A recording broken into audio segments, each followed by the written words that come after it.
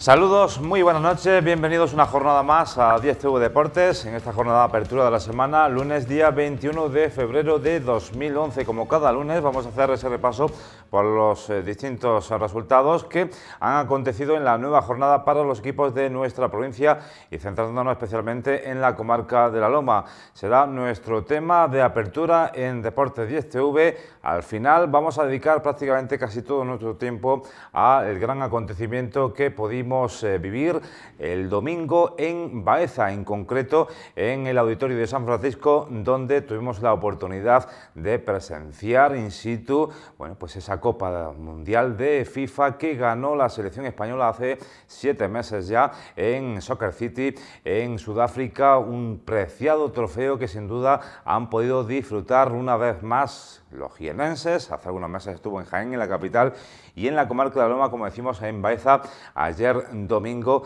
fueron miles las personas de toda la comarca de la Loma, incluso fuera de la provincia de Jaén, las que pudieron disfrutar con esa fotografía que quedará inmortalizada para tener el gran recuerdo del trofeo preciado en eh, ámbito deportivo de nuestra selección española, la Copa del Mundo. Antes eh, de pasar a los protagonistas de la jornada de ayer domingo, vamos a conocer esos resultados y los eh, partidos más destacados de la distinta categorías donde militan equipos de la provincia de Jaén. Vamos a empezar con el grupo tercero de la primera división andaluza y una nueva jornada, la vigésimo cuarta, que deparó los siguientes marcadores eh, definitivos. Jornada vigésimo cuarta, Lauro 1, Real Jaén B 5, Torremolinos 1, Villacarrillo 3, Churriana 3, Rincón de la Victoria 0, Recreativo de Abailén 1, Dos Hermanas San Andrés 0, Atlético Benamiel 3, Mijas 2, Atlético Marbellí 1, Úbeda Viva 0, Carolinense 1, Malaca 2, San Pedro 3, Nerja 1 y Fuengirola Los Boliches 1, Torre del Mar 0.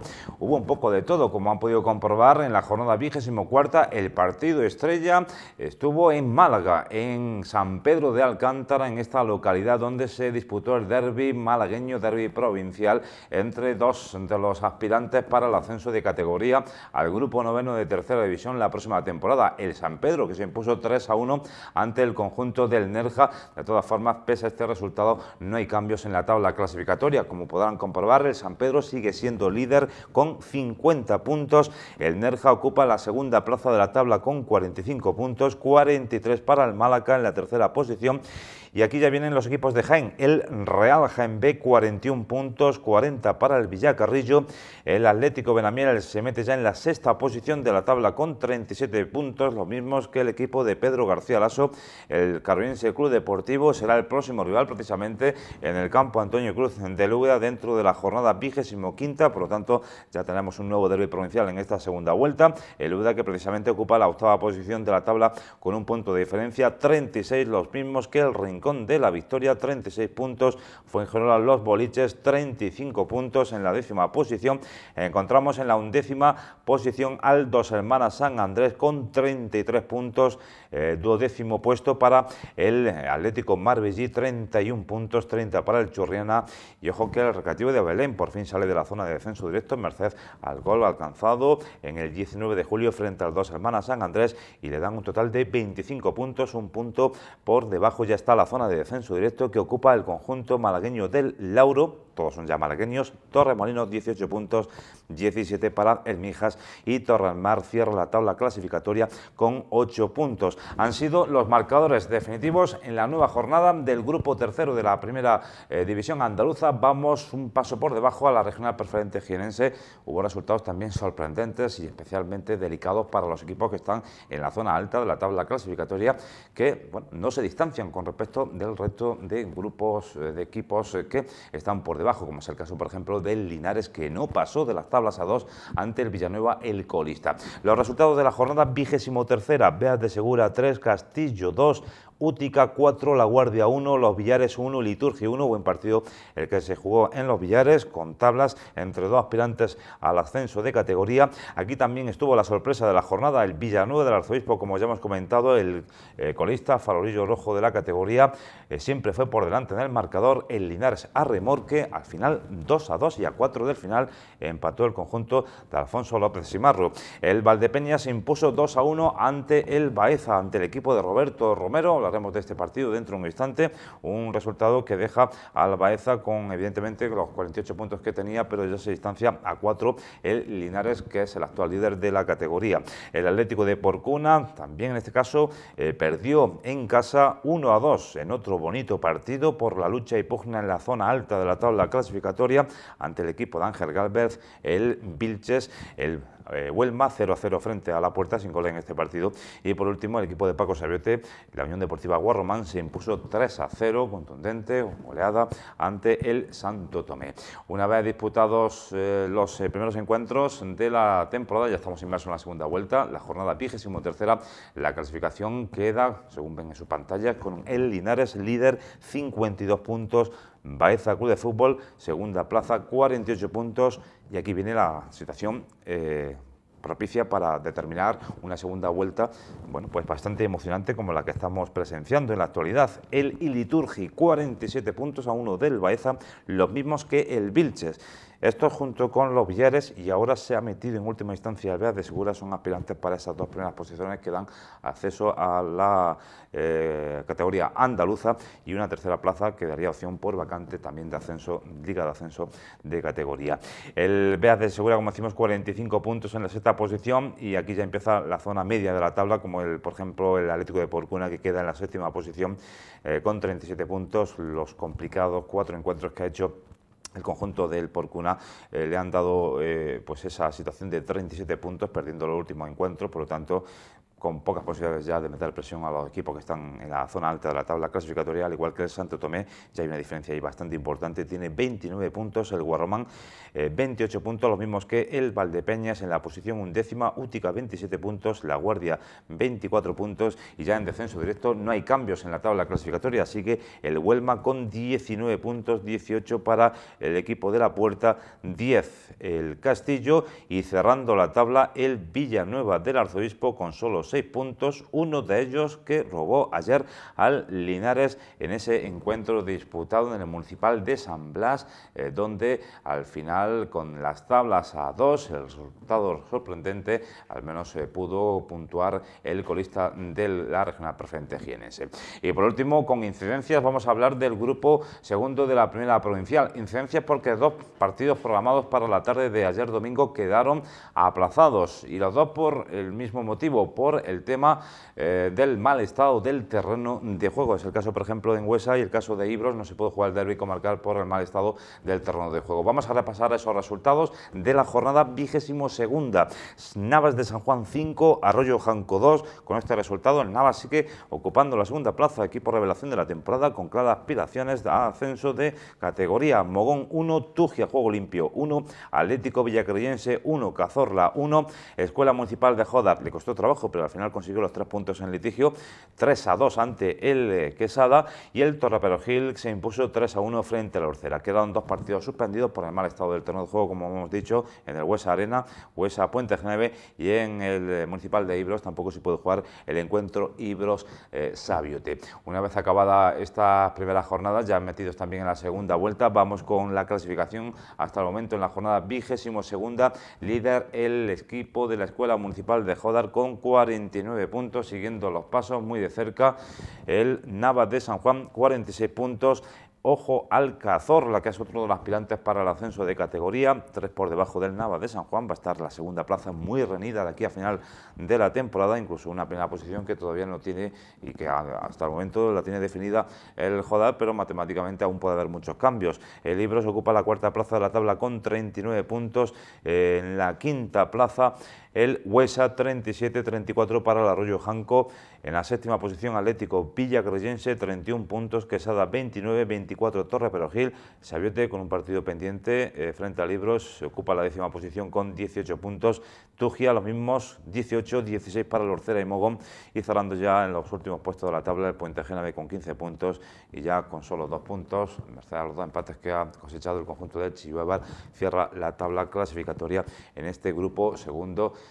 de la primera provincial. Hasta aquí todos los resultados de los equipos de la provincia de Jaén. Lo más destacado en senior, vamos ahora con los encuentros eh, más destacados, vamos a centrarnos en el Úbeda y en el Baeza, en dos categorías totalmente diferentes, dos categorías donde el Úbeda defiende la permanencia en la categoría y el Baeza ascender a el grupo tercero de la Andaluza siempre que haya viabilidad económica para poderse permitir estar la próxima temporada en el grupo tercero de la Andaluza. Vamos con el partido del Úbeda, el partido que se jugó en un buen campo, en un buen terreno de juego, amplias dimensiones, el césped no estaba muy bien, pero eh, se podía jugar perfectamente un partido de 90 minutos como el que protagonizaron ayer por la tarde a las 4 y media en el Estadio Municipal de Marbella, el Atlético Marbellí y el Úbeda. Al final, resultado final, 1 a 0 para el Marbellí. Una derrota del desplazamiento huetense de esta jornada que deja al Úbeda en la mitad de la tabla clasificatoria y con ese gol que en el primer tiempo, gol materializado por Rafa López, haya acabado el partido. Sí hay que decir que bueno, las numerosas bajas que contaba el conjunto huetense para este partido, eh, al menos tres jugadores habituales cumplían el ciclo de cinco tarjetas amarillas, no pudieron estar en este choque, por lo tanto, Mado Ruiz, técnico del conjunto huetense, tuvo que echar mano a un banquillo repleto de juveniles y con los habituales en la defensa que está actuando tras las numerosas bajas del equipo por las circunstancias que todos los aficionados ya saben y son distintas y particulares con respecto a los jugadores que han ido poco a poco abandonando el club ubetense. Bueno, pues al final eh, se pasó algo de factura, mm, sé que decir que el primer tiempo eh, estuvo eh, las fuerzas tanto del Marbellí como del Úbeda muy equilibradas, cualquiera de los dos podía haber sentenciado el partido en los primeros 45 minutos, pero solo llegó ese gol, como ya hemos indicado anteriormente, el gol que materializó el Marbella y que al final supuso la victoria del conjunto malagueño. Oportunidades claras, especialmente en el segundo tiempo del Úbeda, que lo intentó, como mínimo llevarse el empate. Mereció un mucho mejor resultado, no solo un empate, sino una victoria, nos decía Amado Ruiz al término del partido, ya que el Uruguay tuvo dispuso de muchas más ocasiones mm, de alzar con la victoria al Marbellí, que se dedicó a nadar y a guardar la ropa con ese resultado que mantenían del primer tiempo de 1 a 0 durante el segundo tiempo.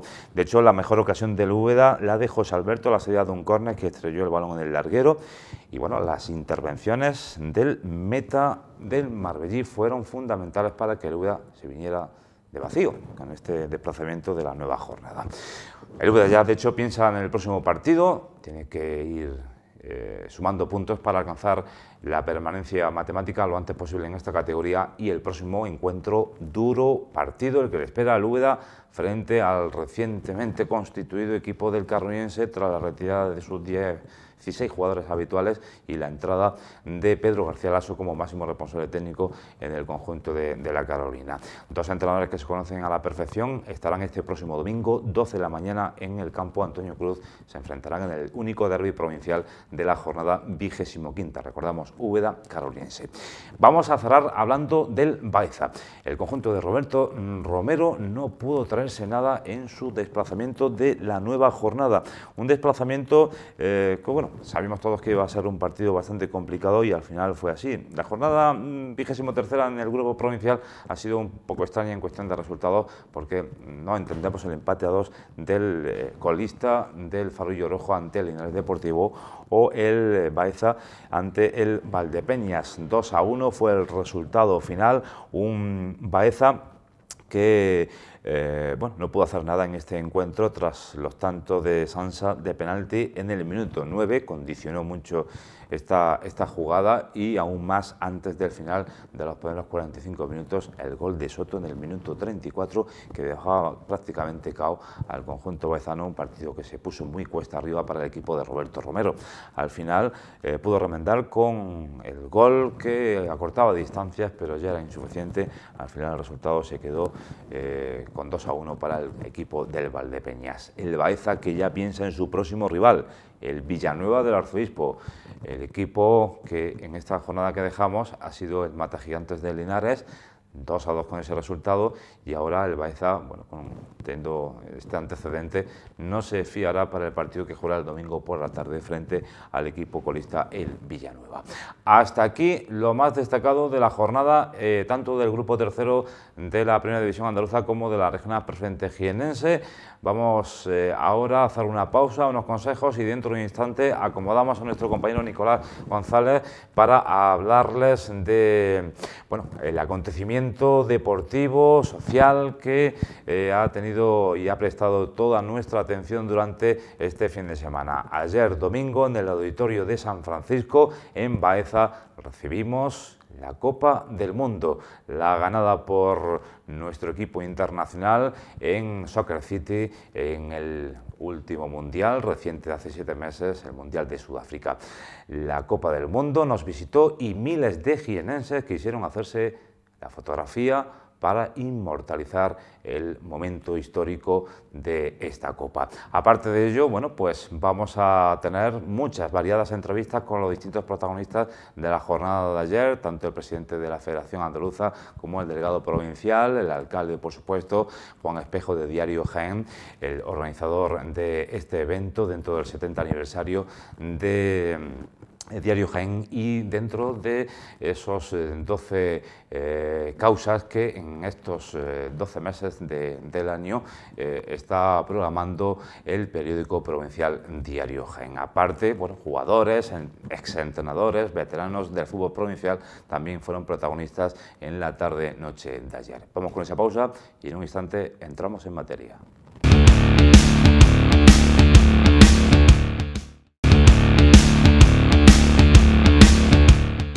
Y tras conocer los resultados y lo más destacado de la nueva jornada, vamos directamente con el acontecimiento eh, deportivo social de ayer en Baeza, en el auditorio de San Francisco. Miles de jienenses, todo el equipo de multimedia jienense, todo el equipo de la redacción de deportes, realización, cámaras, estuvieron eh, durante todo el día, desde las 10 de la mañana hasta que terminó el acto alrededor de las 7 de la tarde de noche. Nuestro compañero Nicolás González, que hoy nos acompaña en el plato de 10CV. Nicolás, muy buenas noches. Buenas noches. Bueno, un acto en el que estuvo también nuestro compañero Antonio Lorite, nuestro compañero Manolo Pedales, tú, yo, en fin, eh, pasamos una mañana, una tarde espléndida junto con bueno, directivos, eh, miembros de la corporación municipal, eh, luego por la tarde con jugadores, ex jugadores, ex entrenadores de nuestra provincia, un día redondo, ¿verdad? Y encima todo decorado con, con, el oro de los 18 quilates de una copa de 6 kilos 175 gramos, ¿verdad? La Copa del Mundo. Sí, un, fue un evento pues genial para, para, hacer equipo y para hacer plantilla, que es de lo que se trataba, y, y descubrir pues un, un acontecimiento que gracias al diario Jaén y con la colaboración de 10 Televisión pues pudimos, pues creo que fue algo pues, magnífico que acudiera tanta gente y que no hubiera incidentes, apenas incidentes durante la, gala de ayer y, bueno, pues se le diera la oportunidad a todo el que se acercó en la mañana y en la tarde de ayer de, poder estar unos minutos con, con, esa copa que veíamos por la tele allá por el mes de julio. Ah, una copa que levantó el capitán de la selección española en Soccer City, Iker Casillas, y que luego, bueno, esa misma copa estuvo pasando por las principales calles, por la castellana, por las principales, calles de, Madrid, donde pudimos eh, eh, presenciar como... Y además creo que también estuviste tú en la fiesta, ¿no? En la fiesta de... Sí, lo que pasa es que allí, la veía un poquito más lejos.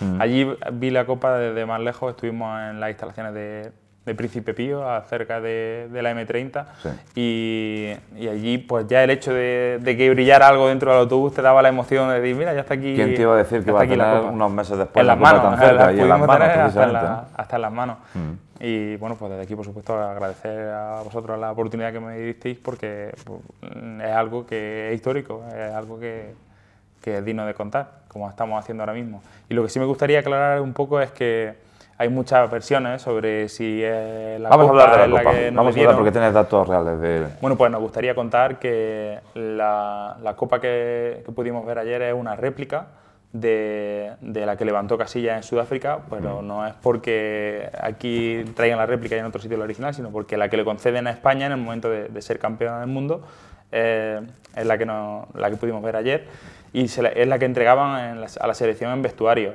El original se lo queda a la FIFA, ya que bueno, pues, eh, con la, anterior versión se produjeron varios robos. Mm. Dos creo en concreto, ¿no? En concreto que tengamos conocimiento dos. Mm. Eh, fue en el año 66 en Inglaterra, cuando Inglaterra organizaba el Mundial. Era otro tipo de copa, era la conocida como la Copa Victoria, que más tarde se le puso el nombre del de el primer presidente de la FIFA, que organizó el Mundial, que es Jules Rimet y bueno, pues que ya no existe esa, esa, versión, tuvieron que buscar otro modelo porque en el año, allá por el año 70 Brasil conseguía su tercer campeonato y bueno, se había, se había decidido que cuando un equipo llegara a conseguir tres mundiales se quedaba en propiedad la Copa. Entonces tenemos un primer robo en el año 66 cuando lo organizaba Inglaterra, fue en los salones de Londres, en Westminster, donde se robó la copa y estuvo durante siete mm, días perdida y apareció un perro con no con ella en la boca, pero sí humeando, pues eh, con una copa envuelta, algo que era envuelto en periódico y luego se descubrió que era la Copa del Mundo. El otro robo se produce mm, ya en propiedad, con la copa en propiedad de la Confederación Brasileña, eh, allá por el año 83, eh, en Río de Janeiro, pues la copa estaba protegida, suponemos que en una, la sede de la Confederación, tenía pues, protegido por una urna de, metacrilato y él tenía una parte que era de madera y eh, aprovecharon, forzaron por la de madera y ahí eh, pues, se produjo ese robo y dicen que la convirtieron en lingotes de oro. ¿Qué pasa? Que ahora también hay otras versiones que dicen que cuando en el año 66 se produjo el robo de, la copa en Inglaterra, pues aprovecharon para que un joyero inglés hiciera una copia y eh, por lo visto el tío era tan bueno que se quedó con la original, y le entregó la copa a la mm. FIFA. Pero bueno, eso son leyendas que no vamos a, poder averiguar. Eh, lo que sí queríamos contar es que eh, estos son los motivos por los que la, la FIFA ha decidido que ya no se, ya el original no va a quedar mm, más en propiedad del equipo campeón. Porque Solo se entrega en la fotografía. Se le entrega ceremonia, la ceremonia, de la ceremonia de entrega de, la Copa del Mundo. Sí, y el, al equipo que gana en ese momento, pues se le acredita con una réplica, que es la que va a poder disponer en, su museo o en lo que tenga cada uno. Y es personalmente cada cuatro años. La Copa que ayer pudimos eh, presenciar, que es la que se queda España, se queda la Federación Española de, Fútbol. Así es. Y, si, no, si no, pues obviamente no íbamos a tener toda la oportunidad de tener pues veintitantos kilos que puede ser que pese la copa, porque mm, por, lo que mide, eh, si eso todo fuera oro puro, como es el original, pues no, no, iba a ir a pasar de mano en mano. Lo que pudimos ver ayer era una copa bañada en oro. ¿eh? Y bueno, la, la, otra parte de material me gustaría recordar conocer lo que, reconocer lo que es eh, un, mineral que se llama malaquita, que es esa parte verde que, vemos en la copa, que forman los dos aros, y entre medio de los dos aros hay 34 placas que son, forman, son el espacio que, desde el año 70 van, van ocupando las diferentes selecciones campeonas de, los mundiales. Y que mm, hay 17 placas, ya han ocupado 10, España hace la décima y hasta el año 34 está garantizado, hasta el año 2034 está garantizada la existencia de esta copa. No sabemos lo que va a decidir la FIFA hacer en el momento en el que ya se acabe el espacio y que, bueno, pues hay tiempo hasta el 2034 pensar si va a hacer un nuevo diseño. En 2034 seguramente la copa será hasta virtual, ¿no? en 3D, en tres dimensiones y virtual, ¿no? Bueno, eh, esto fue lo que pudimos vivir, miles de jienenses, una cola impresionante que rodeaba todo mm, el auditorio de San Francisco, incluso calle Anesa. Eh, y con protagonistas, por supuesto, que durante la mañana tuvimos la ocasión de hablar con muchos protagonistas. En principio, comenzamos, quisimos empezar a de entrevistas eh, con Juan Espejo, que es el director de Diario Gen. Nos hablaba de, este nuevo reto del mes de febrero de Diario Gen con motivo del 70 aniversario. También tuvimos la ocasión, la oportunidad de hablar con el alcalde de la ciudad de Ueda, eh, perdón, el alcalde de la ciudad de Baeza, Leocadio Marín, y al concejal de deportes, Bartolomé Cruz. Estuvo también contigo. Eh, también hablamos con, el presidente federativo. federativo, presidente de la Federación Andaluza, Primero Eduardo Herrera. Eh, Eduardo Herrera de la Federación Andaluza, que se hizo esperar bastante, porque estaba previsto que llegara a las once y media a la apertura de puertas y llegó pues, un pelín más, más tarde. Pero entre medias pues, pudimos también hablar con Pedro Borrá, que para mí fue el que me dejó maravillado, pues porque por esa cercanía que demostraba y, esa disponibilidad a, cualquier duda que tuviéramos, de, con muchas que nos han surgido pues, eh, a lo largo de, todos estos meses siguiendo fútbol provincial, pues te surgen muchas, cuestiones, sobre todo por el tema de la federación, de la, de la Liga Andaluza. Competición. Sí, de la primera división andaluza y bueno, pues que se encarga de, de resolvernoslo en unas entrevistas muy, muy interesantes, sobre todo pues eso de mm, agradecer la disponibilidad que han, que han tenido todos y la amabilidad y lo, lo bien que, que estuvimos en la tarde de ayer. Mm. Eh, José Gutiérrez, que es el delegado provincial de la Federación Jienense de, de Fútbol, y eh, Bartolomé González, que eh, bueno, también entraba a su empresa como colaboradora importante de este gran evento. Vamos a ver si os parece esta entrevista con las declaraciones de los distintos protagonistas y luego seguimos porque por la tarde hubo bastantes más cosas. La gala, la gala. La gala.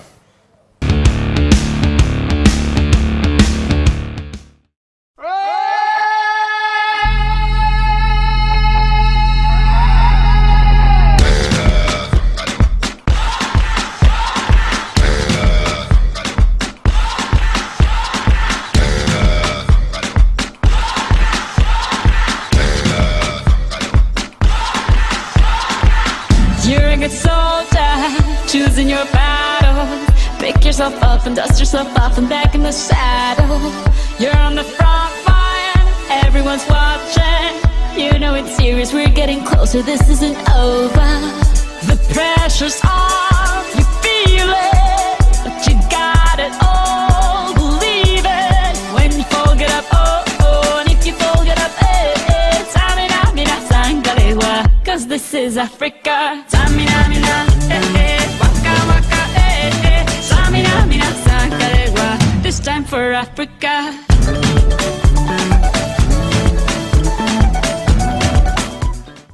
Nos encontramos con Juan Espejo, director de Diario Jaén, el periódico de, todos los jienenses, y que bueno, pues una vez más nos sorprende a todos, esta vez trayéndonos a el trofeo más deseado de todos, la, Copa del Mundo, y creando una expectación que eh, estamos a la espera de que abran las puertas y ahí ya, pues no sé, 500 personas en la puerta perfectamente.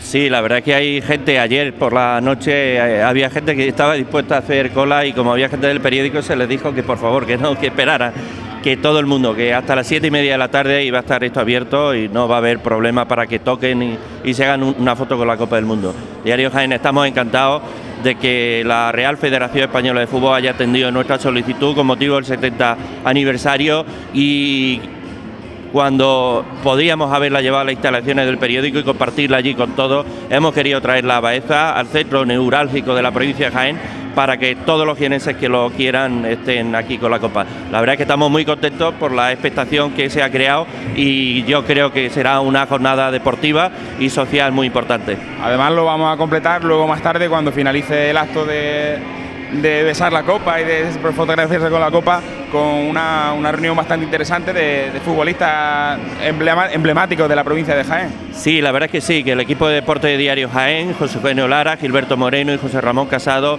han hecho una labor de contacto con las glorias de ayer y, y de hoy del fútbol provincial y a partir de las 6 de la tarde están todos convocados aquí para con un acto que presentará Antonio Oliver, una persona que conoce perfectamente el mundo del deporte en la provincia de Jaén, y regional y nacional e internacional, y ha- habrá un encuentro, una convivencia, yo creo que magnífica. Hay confirmada ya la presencia de especialmente de eh, algún, algún jugador destacado, eh, Yo, eh, estamos en domingo, queríamos que la Copa del Mundo estuviera en Jaén, de la mano de Diario Jaén, un domingo, eso nos impide que alguna gente pueda venir, porque están jugando. Pero Anquela, que el gran Anquela, estará con nosotros esta tarde. Muy bien, pues nada, muchísimas gracias y bueno, pues esperamos que tengamos una, una buena jornada y ya compartiremos momentos de, hablando de la Copa del Mundo. Muchas gracias. Bueno, siguiendo con los eh, personajes interesantes que, que vamos a destacar durante el programa, pues tenemos a Leocadio Marín, alcalde de, de Baeza, y Bartolomé Cruz, concejal de deportes. Un orgullo para la ciudad de Baeza tener aquí la Copa del Mundo, ¿no? Por supuesto, eh, es decir, eh, para nosotros es un día grande que además coincide con otra actividad grande para nosotros que es el Paseo Machadiano. Nosotros estamos celebrando la semana de Antonio Machado y bueno, me, pa- me parece una coincidencia afortunada.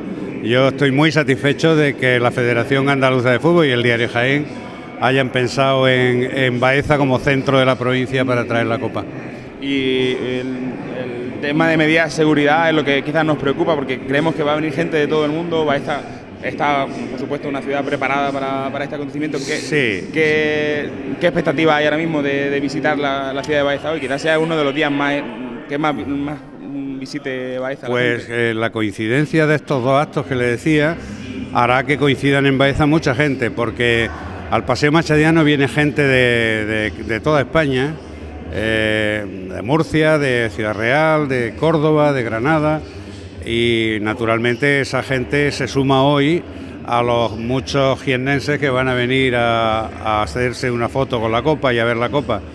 Bueno, somos una ciudad acostumbrada en algunos momentos puntuales a, doblar nuestra población y, sin que haya ningún tipo de problema, así que no espero que hoy haya ningún problema. Sí, quizás desde la jura de bandera, el día que más, más claro, visitar, ¿no? es decir, la, jura de bandera habitualmente, pues si eh, venían 10, 12 mil personas, vienen habitualmente, por tanto estamos preparados para eso. ¿Se ha hecho la foto ya con la copa? Todavía no, estoy esperando al momento de la inauguración oficial. Muy bien, muchas gracias. Bartolomé.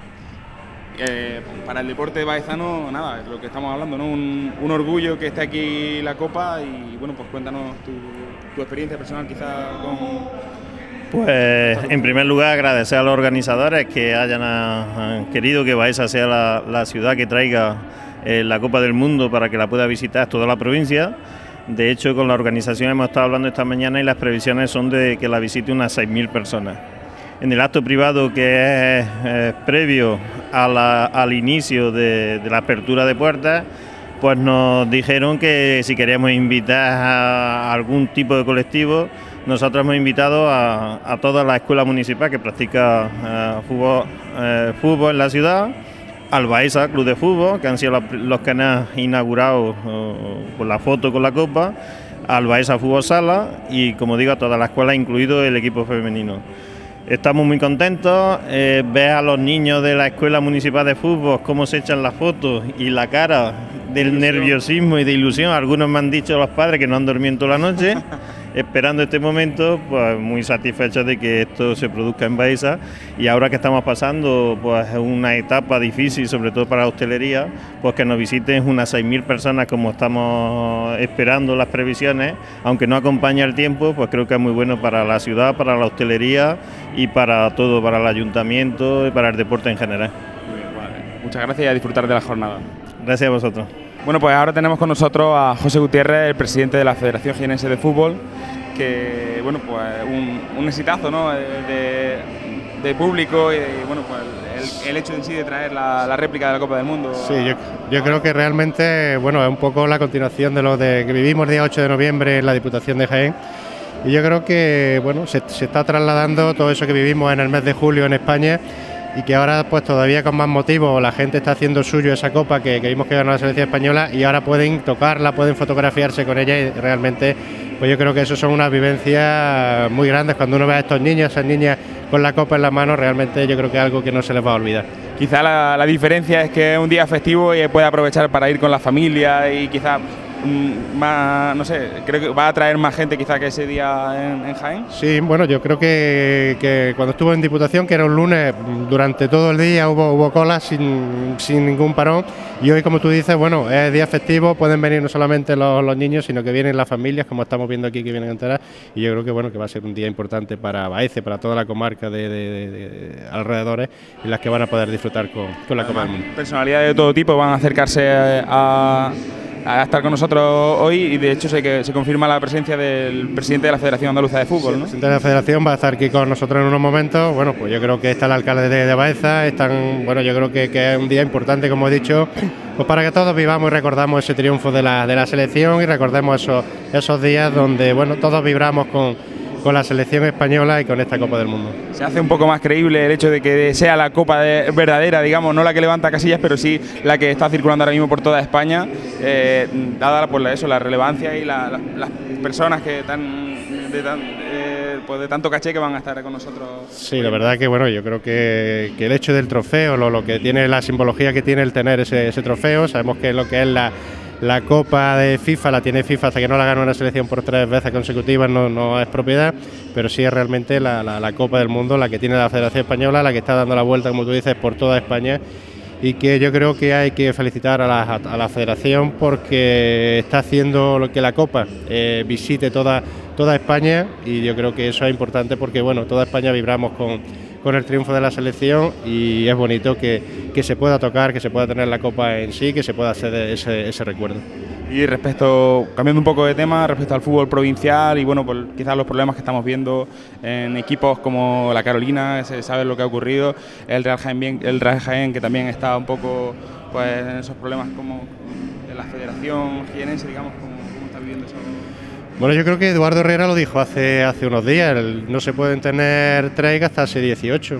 Entonces yo creo que los dirigentes de fútbol tienen que, adaptarse a la, a la situación que hay. Si un equipo ingresa 5, pues tiene que hacer un presupuesto de 4, no puede hacer un presupuesto de 18. Y yo creo que a eso tenemos que ir para evitar pues, situaciones como la que hemos vivido últimamente, desapariciones del Linares, Terodón Jimeno, del propio carolinense que, dece- que desapareció hace unos años y que ya está de nuevo en, en una nueva crisis y yo creo que eso no se puede no se puede permitir y hay que bueno que hacer presupuestos realistas. Y bueno todos tenemos que concienciarnos de que cada, cada equipo tiene que estar donde esté y que la situación económica es la que hay y que uno no puede gastarse más de lo que de lo que tiene.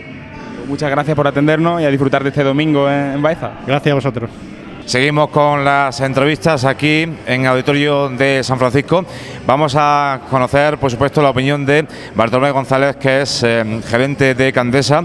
eh, y bueno, presidente de Alcisel, como bien saben todos los ubetenses. Bartolomé González, buenas tardes. Hola, buenas tardes. Bueno, un orgullo recibir en Baeza, en la comarca de Loma, la Copa del Mundo, que creíamos que iba a haber menos privilegiados, pero al final estamos dentro de los privilegiados para coger esta Copa, ¿verdad? Sí, además de verdad, las expectativas yo creo que Diario Jaén tiene que estar de enhorabuena porque eh, se han cubierto y creo que hay que felicitar al periódico provincial por esta iniciativa, por acordarse de nuevo de la comarca de, de La Loma con un evento que sin lugar a dudas tiene una repercusión económica para la comarca y para la ciudad de Úbeda. Mucha gente, estamos viendo de primera hora, ni siquiera oficialmente ha empezado el acto, que es a las once y media, y sin embargo vemos ya cola desde las nueve y media de la mañana. Sí, me decían que a las 8 ya había gente, me decía Juan Espejo, el director de Diario Gen. Por eso digo que tienen que estar de enhorabuena porque eh, la expectación que se ha generado se ve con, las puertas llenas y la gente con la ilusión que tiene por coger esa, esa copa que será histórica y con eh, las instantáneas que hoy se pueden disfrutar eh, en esta jornada aquí en la ruina de San Francisco.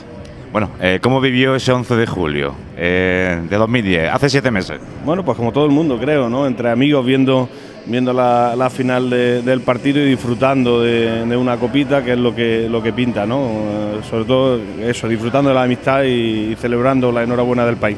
Bueno, sabes que el fútbol provincial, en general, por la crisis también, los tentáculos de la crisis también llega a todos los equipos modestos de, nuestra provincia, en este caso, eh, con desaparición de clubes recientes, eh, equipos que se reestructuran, en fin, hay mucho movimiento, ¿no? La apuesta sería quizás por el Úbeda Viva, ¿no? que apuesta por la cantera y es que es lo que en realidad se están dando cuenta toda la junta directiva, ¿no? que apostar por la cantera, ¿verdad? Sí, la situación económica tiene una repercusión directa en todos los ámbitos, tanto en el deporte como en las empresas, ¿no?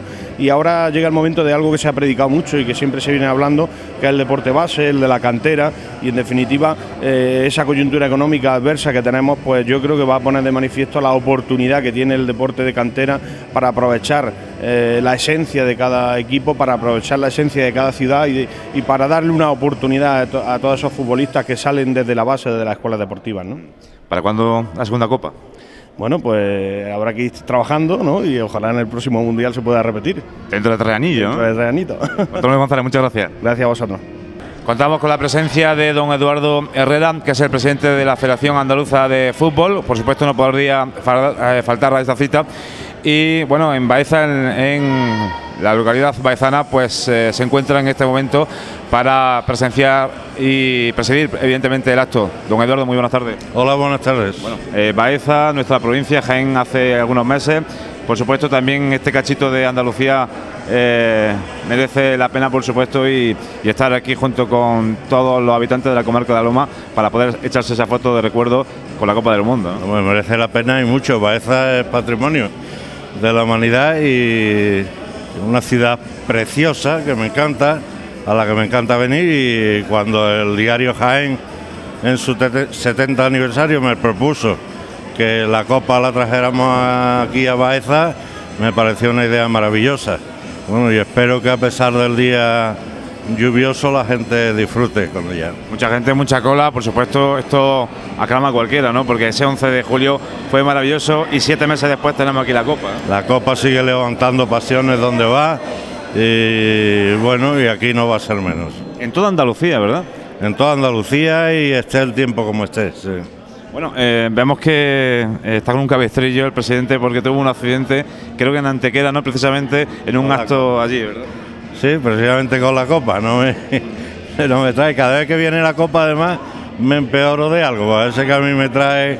Y esta vez, pues, poco antes de venir, me ha tocado operarme de aquello que me ocurrió en, en Antequera. Bueno, yo creo que sea ya la solución definitiva. Bueno, va a tener un, un recuerdo también, ¿no? De, de esta, de esta copa. Eh, bueno, todas las ciudades de Andalucía, muchas ciudades, ¿no? Eh, por ejemplo, en Jaén hemos estado en Jaén, en Baeza y en el resto de Andalucía también muchas poblaciones. En muchas poblaciones y vendrá más veces la Copa Andalucía porque son muchos sitios los que quieren tener la Copa y seguiremos trayéndola. De aquí vamos a Lucena y después a Almería. Después la Copa va a Italia a, a repararla, a retocarla y, y demás. Y, y bueno, y después seguiremos haciendo rondas. Hay sitios importantes como Jerez, por ejemplo, donde no he estado. Y, bueno, seguiremos. Ya hay para actos puntuales importantes que merezca la pena que la Copa esté. Eh, tenemos cuatro años para pasearla. Hablando de la provincia de Jaén con respecto al equipo de las distintas categorías, empezando con el grupo noveno de tercera división, partiendo también con el grupo tercero de la primera división andaluza. Eh, bueno, sabes que hay un momento complicado, un momento de crisis, los tentáculos de la crisis también llega al fútbol. Eh, está complicado el fútbol en, en, nuestra provincia y supongo que en el resto de provincias de Andalucía, presidente. Y de España. Y en España. Y de España, sí. Hay un momento de crisis importante que tenemos que, que eh, atajar todos, primero con administrando con responsabilidad es lo primero que le estoy pidiendo a los clubes cuando me reúno con ellos. Ninguna medida que se haga para arreglar los problemas de la tercera división, y es más acusado y más grave el problema en el grupo 10 que en el 9, mientras los dirigentes tengan 6 y gasten 10. Y luego, eh, cuando no pagan, se dediquen a decir el alcalde un tal o la alcaldesa es cual. Eh, el papel de los alcaldes y de las alcaldesas no es el de pagar los sueldos de ningún de ningún semiprofesional o de ningún profesional encubierto, es otro, es, es, facilitar que los niños, las niñas hagan deporte, que haya infraestructuras para el deporte y ayudar a los clubes a vivir, pero desde luego no ayudar a que una mala administración del club la tengan que se tenga que pagar con fondos con fondos públicos que hacen falta para otras cosas. Eso es lo primero que hay que corregir. Mientras eso no se corrija, todo lo que se haga va a parar a un saco roto. Porque yo van para traer más jugadores de fuera. Pues, hay clubes que me dicen, que hacemos 25 euros de taquilla. Pues ustedes piensen por qué. Piensen por qué. A lo mejor que usted tiene todos los jugadores de fuera y la gente no se identifica con el equipo. Tengo un equipo del pueblo. O a lo mejor el equipo no quiere, a la gente del pueblo no le gusta un equipo aficionado. Desde la federación claro. apoyan a la cantera y el equipo del pueblo. ¿no? Nosotros preferimos, sin, luchando por esto, peleando por esto, peleándose con todo el mundo y hace 25 euros de taquilla, dedíquese usted a los juveniles, a los cadetes, a los. o juegue con jugadores de la cantera. No trague jugadores de por ahí, que, que se lo está rechazando su localidad. Esas cosas es lo primero que hay que corregir. A partir de ahí, evidentemente, hay problemas estructurales de la propia competición y de muchas cosas en lo que yo ahí voy a estar siempre al lado de los clubes para tratar de arreglarlo. Lo que no voy a apoyar nunca, y ahí estoy dispuesto a hacer una cruzada, es a que se administren como les dé la gana y que los demás paguemos el pato. Equipos retirados, el año pasado fueron todos en el grupo noveno de tercera división, este año la agrupación deportiva Adra, el grupo, los cuatro Pero grupos son- de la primera andaluza. Son los más honrados. ¿Por qué? ¿Por qué? Los que avisan. Usted no podemos y para dejar a todo el mundo sin pagar, nos vamos a retirar. Con un gran inconveniente de, hasta de, aquí hemos de llegado. virtuar la categoría. Desvirtúan la categoría, sí, pero no forman un, un problema tremendo al final con un montón de gente sin cobrar y un problema al ayuntamiento y, y demás. ¿no? Hombre, quizás lo tenían que haber empezado antes de empezar la competición. Pues se han retirado muy pronto, quiere decir que empezaron ya con perspectiva de no poder jugar. Pero bueno, por lo menos mm, han tenido la decencia de decir antes de seguir generando deuda, nos vamos. Otros están generando toda la deuda del mundo y les da exactamente igual. Les da exactamente igual. Presidente, no eh, ante momentos de crisis sabemos que un equipo de fútbol es como una empresa eh, de la ciudad. Eh, muchas empresas están tomando medidas, de hecho desde hace años, por el motivo expuesto de crisis. Eh, la Federación Andaluza está aconsejando a los clubes o está estudiando y trabajando el tema para salir o solventar estos problemas económicos que, que atraviesan muchos clubes. Mire, hemos convocado con la Universidad de Cádiz un máster de dirección de club y de administración de club Teniendo en cuenta el momento y actual de crisis, ¿no? Y hemos tenido que suspenderlo porque no se han apuntado los, la- los clubes a ese máster. O sea que tampoco hay muchas ganas de, de aprender por parte de algunos de algunos dirigentes. Nosotros, ya digo, lo que estamos al lado de la ellos, impresión de que algunos clubes van de manera independiente, ¿no? algunos dirigentes. Algunos dirigentes. Algunos dirigentes eh, creen que esto es un juego y no es un juego. Es un, es un deporte que hay que administrar y que hay que administrar con responsabilidad y cuando se firma algo o cuando uno se compromete a algo, tiene que hacerlo sabiendo que puede eh, eh, responder a lo que ha firmado.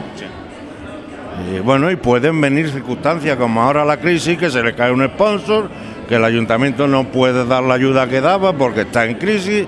Tienen que entenderlo y no insultar después al alcalde o a la alcaldesa. Y a lo mejor ese año pasa dificultades. Este año hemos ayudado nosotros a que nueve equipos que no hubiesen jugado, la AFE les dé, de acuerdo con la andaluza, pues todas las facilidades para que sigan jugando la competición y no descenderlo. Y algunos están cumpliendo con aquellos compromisos y otros han pasado, no han pagado ni un solo duro y se han dedicado a firmar jugadores de Sevilla, de, de todas partes, a una- con una- a unos precios, además que eh, francamente, eh, si nosotros nos metiéramos ahí y diéramos el visto bueno a eso, estaríamos amparando una estafa a la seguridad social y Hacienda que no podemos amparar. Una última cuestión. Hace tres meses aproximadamente los clubes amenazaban de tercera división, grupo noveno y grupo décimo, con una huelga. Al final, eh, bueno, se mantuvo una reunión con ellos. ¿Qué conclusiones se han llegado? Yo con la huelga no mantuve reunión No, con me refiero, me refiero a esa reunión para desconvocar la huelga porque la semana siguiente iba a haber una reunión importante con la federación. La, la ha habido veintitantos días después y con los clubes que yo he citado. Yo no me reúno con asociaciones ninguna porque no se contemplan en, en los estatutos de la federación. Nosotros tenemos club, jugadores, árbitros y entrenadores. Hasta ahí. Eso fue una huelga amparada por tres equipos que no pagan y que quieren embarcar a, la- a una mayoría de clubes que están cumpliendo con sus obligaciones para hacerle la competencia, para que no, le- no se les suspendan a ellos los servicios federativos, firmar jugadores y hacerle la competencia a los que están cumpliendo con su obligación y disputarles el ascenso o disputarles el descenso. ¿Cree que hay una conspiración? en Claro, ese- cla- claro, es que, es que es que van contra el resto de los clubes. Nosotros lo, lo que dijimos, el que no se presente, reglamento al canto, tres puntos menos, 18.000 euros de multa y, y primera en comparecencia. Pero es que los jugadores no iban, no iban a ir a la huelga nunca. Como hay los jugadores a la huelga si era una huelga para no pagar a sus compañeros. Eso era un disparate. Al día siguiente de convocarla, todos los, la mayoría de los clubes estaban llamando a, a la federación diciendo que ellos no iban a la huelga. Nosotros estábamos seguros que no veis si era una huelga disparazada. La huelga cuando hay razones, yo soy el primero, vale, estupendo, yo paro, y no, pero, pero esa de luego no. Presidente, nos honra su presencia hoy aquí en Baeza. Muchas gracias por estar con nosotros, por estas aclaraciones y a disfrutar de la copa. Con cuidado, ¿eh? Con cuidado. gracias, con cuidado, sí. Gracias. Vale, hasta luego. Nos encontramos en esta ocasión con Pedro Borrás, vicepresidente de la Federación Andaluza de Fútbol y responsable de los eventos deportivos que se suceden aquí en la, en la comunidad. Eh, bueno, cuéntanos la trayectoria un poco que tiene la Copa, que tenemos entendido que, que viene esta semana, se ha pegado un buen tute, ¿no? Sí, hombre, eh, vengo ayer de Granada, de Granada, ayer terminamos en Granada a las 10 de la noche, nos venimos a dormir aquí con la copa para que estuviera ahí toda la mañana todo el operativo preparado para, bueno, para el disfrute de, todos los habitantes de Baeza, que es lo que se trata. Eh, ya sabes que, como te dije, en el mes de noviembre estuvimos en Jaén Capital, tuvimos la presentación en el ayuntamiento y después la pusimos en la diputación durante todos los días. Y hoy es el primer sitio que venimos a la provincia y, lógicamente, el sitio, el marco más, más importante que podemos que, que se decidió y además a petición del diario de Jaén, que es con su 70 aniversario, lo hemos traído para esa y aquí estamos. Y durante la semana eh, ha recorrido también bastante, bastante Sí. pueblos, ¿no has contado antes? Sí, empezamos el lunes por la noche que llegamos a, a Jerez. Por la mañana estuvimos en Guadalcacín, que es una pedanía de Jerez, porque eh, estamos yendo a todos los sitios donde bien los jugadores, bien técnicos de la Federación Española de Fútbol consiguieron el Campeonato del Mundo. Eh, ahí Antonio Fernández eh, trabajaba en el equipo técnico de Fernando Hierro, era el que eh, más o menos informaba de los de equipos adversarios y empezamos por Guadalcacín, de ahí fuimos a la presentación del contar con el fútbol a la Diputación de Cádiz, por la tarde estuvimos en San Fernando, terminamos en Benaluz, al otro día estuvimos en Cádiz Capital, el día siguiente que fue el jueves estuvimos por la mañana en Algeciras, de Algeciras nos fuimos al Muñeca, en Almuñeca por la noche llevamos la copa para Granada y ha estado días expuesta en Granada y lógicamente hoy estamos aquí, mañana nos toca ir a Lucena y por fin terminamos el martes el recorrido de, de este segundo periplo en Almería. Casi En nada los kilómetros que, que lleva esta copa. Eh, tenemos entendido que esta es la copa que, que está, está, digamos, esta es- rotando por toda, toda España. Luego hay otra en el Museo de la Federación. Efectivamente, hay una que está en el museo y está la- una réplica que se ha hecho porque lógicamente la del museo es la que le entregaron eh, en el vestuario del partido final del partido de la selección. Allí estaban los miembros de FIFA y en el momento que se hicieron los actos de entrega se cambió la copa en el vestuario y es una réplica de la del museo. Todo por motivo de seguridad, porque conocemos que la trayectoria de, la Copa del Mundo, en, su, en su momento, mm, cuando pasaba de, de mano en mano cuatro años en, en cada campeón, eh, pues eh, ya hemos tenido oportunidad durante el programa de hablar con nuestros, de, de comentar, de comentar la, la trayectoria y hubo hasta bueno varios robos incluso. Sí, sí, de- hubo un robo último cuando fue la Copa Jules Rimet, antes de ser la nueva Copa, el nuevo formato de la Copa. Antiguamente el campeón del mundo era campeón Jules Rimet, ya se puso la World Cup, que es la- el diseño que se hizo a raíz del año 70 y prácticamente ya en el año 74 fue el primer modelo de la nueva modelo de la Copa. Y lógicamente entonces eh, para tú conseguir la propiedad porque son 6 kilos de oro tienes que ser tres veces campeón o cinco alternos en tres consecutivas o cinco alternos y lo- hasta ahora el único que lo ha logrado ha sido Brasil. Lógicamente, eh, por motivo de seguridad, eh, la Copa está en Suri, en la sede de la FIFA, por el valor que tiene, tan- imagínate solo que son 6 kilos de oro y por la seguridad que tiene, eh, efectivamente, ¿no? Es un poco la trayectoria de la Copa, ¿no? La trayectoria de la Copa, como tú dices, ya te digo, con la primera fase estuvimos prácticamente casi toda Andalucía, nos faltaba que recoger la provincia de Huelva, de Granada y de Cádiz. En una segunda fase, un par de días estuvo en Huelva y ahora, últimamente en esta semana, hemos ido a Cádiz y a Granada, que hemos hecho también los días de la capital y de la provincia. Muy bien, pues muchísimas gracias por atendernos. Venga, a ti, a vuestros.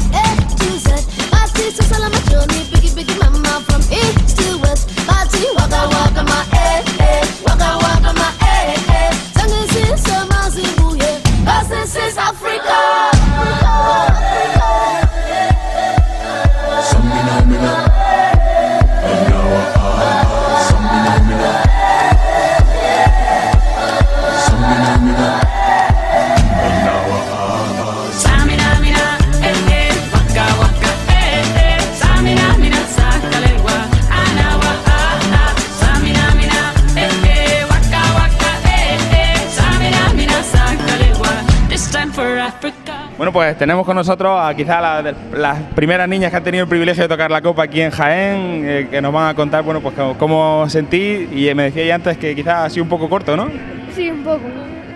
Y que habéis desplazado aquí hasta, hasta Baeza con la ilusión de, de ver la Copa del Mundo. y además muy ataviada, ¿no? Eh, Esta mañana habéis cogido, habéis dicho la camiseta de España y la pintura y como si fuera, como si tuviéramos el, el día que vino la Copa España. Contarnos algo. Pues ha sido un viaje largo, para algo corto, pero sí, está muy bien. ¿Había estado antes en Baeza? Pues sí, algunas veces, pero no mucho. Y bueno, ¿y el momento en el que has tocado la copa qué? Uf, pues bien. Sí. Pese un poco, pese un poco, pero está bien. ¿Ves a la copa? Sí, poquillo. Bueno, esta- estas chicas creo que estuvieron también en Jaén, la Copa también estuvo en Jaén. Tuviste la oportunidad también de cogerla, ¿no? O sea, algunas sí, otras no, ¿no? Y ahora aquí en Baeza habéis acercado que está relativamente cerca y habéis dicho, vamos a coger la oportunidad y además con la camiseta, el número 15 veo, ¿no? Que llevas, ¿no? Ramos, Ramos. de Ramos también. bueno, pues nada, que espero que eh, lo hayáis pasado muy bien y a disfrutar de esta jornada de domingo. Gran acontecimiento el que se está viviendo aquí en este precioso palacio, en este precioso auditorio, en la ruina de San Francisco. Eh, como, como van a ver ahora, gente de toda la provincia ha venido aquí para ver la Copa del Mundo, esa copa que paseó por todas las calles de Madrid, Iker Casillas, Puyol, Piqué, etcétera, etcétera. Como ven, eh, la multitud se, eh, se agolpa ante la entrada y bueno, vemos gente de toda la provincia, como he comentado antes, gente que viene de Úbeda. Buena- Buenas, buenas tardes. Buenas tardes. Eh, bueno, yo creo que merece la pena esperar un poquito. Yo creo que sí merece la pena, aunque haya frío, pero merece la pena. Lo importante es que por la mano no llueva, que la espera se haga un poco más llevadera. Claro, porque si llueve aquí tú verás. Claro que sí. Muchísimas gracias. Eh, vamos viendo más gente por aquí. ¿De dónde vienes tú? Yo de Ibro. De Ibro, ¿no? Y te va a gustar ver la copa, ¿verdad? Sí. Gracias, guapo.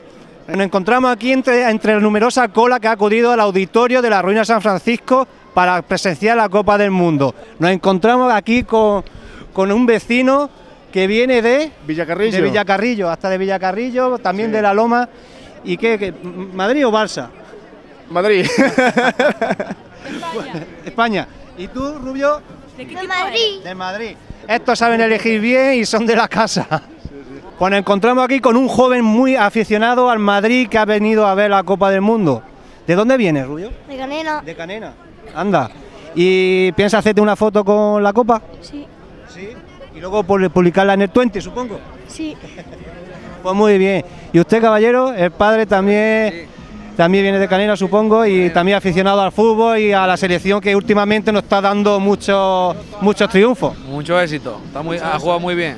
Ojalá que se, se vuelva a repetir pronto. Ojalá esperemos que dentro de tres años volvamos a alzar la copa y volva- volvamos aquí a reunirnos en el auditorio a presenciar y a, y a disfrutar de ella.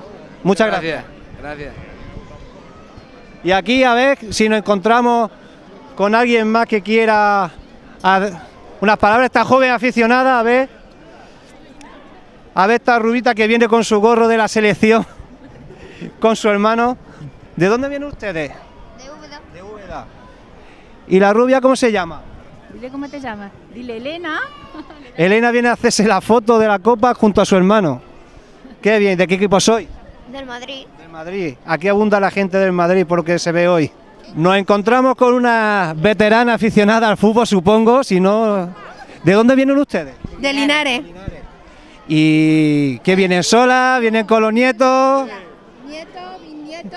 Madre mía, tres generaciones. Madre mía, qué barbaridad. Y otra que ya se ha ido, que ya habrá visto la copa y... Qué bien. Somos muy aficionados. ¿Y han visto alguna vez en directo un partido de la selección? Sí, bastante. ¿Y dónde? Pues bueno, en directo no lo hemos visto en casa, en la televisión. En directo no. En la casa, cuando ganó la copa, que tenemos todos los niños. con la- Se pintaría las caras, irían por las calles. Linares formemos una, que eso fue una revolución. Bastante. Eso está bien, una vez, la primera vez que España... Y nos fuimos a la parcela y todos en el agua bañándose a las 11 de la noche. Muy bien, muy bien. Pues muchas gracias, señora. Y nos encontramos también con otros jóvenes aficionados que han venido desde... De Rus, aquí al ladito de Baeza, pilla cerca el porte. Sí. ¿Qué, habéis hecho muchas fotos? Sí. Muchas No fotos. nos ha dado tiempo a muchas, pero bueno. ¿Y quién es vuestro jugador preferido de la selección? Casilla. Casilla. Sergio Ramos. Ma- Sergio Ramos. Muchos aficionados del Madrid que veo yo por aquí hoy. Sergio Ramos. Todo el Madrid. Mejor Raúl. Ya está. Anda que no, anda que ahora cada vez presenciamos más jóvenes y también veteranos aficionados a este deporte tan amado como el fútbol. Muchas gracias. A nosotros. Venimos de Torre Blasco Pedro. De Torre Blasco Pedro, ¿no? ¿Y cómo se han enterado de la Copa del Mundo que llega aquí a ver? Por, la- por los medios de comunicación, sí. ¿Mucha gente de Torre Blasco Pedro? Bastante, bastante, mucha, mucha, sí, sí. Mucha ilusión, ¿no? ¿Cómo se vivió esa noche? En el pueblo, ¿cómo se vivió esa noche? Ah, 11 de julio. no, es un pueblo pequeño, pues no, se vive porque con una ilusión de ver la copa. ¿Lleva mucho esperando, haciendo cola? Sí, llevamos, llevamos una hora, llevamos una hora por ahí, llevamos ya, sí. Pero merece la pena, ¿verdad? Merece la pena. Sí, sí, sí. ¿Te gusta la copa? ¿Te gusta a ti la copa? Sí. ¿Dónde la has visto? La has visto en fotografía, ¿no? Sí. La fo- en fotografía has visto la copa, ¿no? Y ahora la puedes ver en directo, ¿no? Ahora la Sí, el futbolista también. Claro. Juegan en en Torre Blasco Pedro. ¿no? Joda, ya ha ganado. Claro. José de Linares, ¿eh? pero vamos que si va a salir en televisión. Sí, aquí no. Gracias. Eh, merece la pena, a 8 kilómetros, ¿verdad? Aunque haya que esperar un poquito porque hay mucha gente, pero merece la pena, ¿verdad? Esperar. La verdad que sí merece la pena, porque esto es algo histórico. es- España lo ha conseguido una vez en su historia y entonces es algo histórico. Viene con toda la familia, con todos los niños, ¿verdad? Todos los hijos, la mujer, sí, venimos todos a verlo. Y bueno, ¿qué, qué esperáis? Cuando llegáis a ver la copa tan cerca, eh, algo muy emocionante supongo, ¿no? Bueno, esto es un sueño que se ha conseguido, lo ha conseguido toda España y entonces pues sí, eh, esto es memorable. ¿Cómo enterasteis de que venía la copa esa? Bueno, lo hemos, nos hemos enterado porque por la voz de la gente del pueblo y además por el periódico, por el Jaén que ha estado dando mucha publicidad. Y entonces sabíamos que era hoy. Toda la familia, ¿no? Viene toda la familia. Toda la familia, sí, sí, sí, sí. Gracias.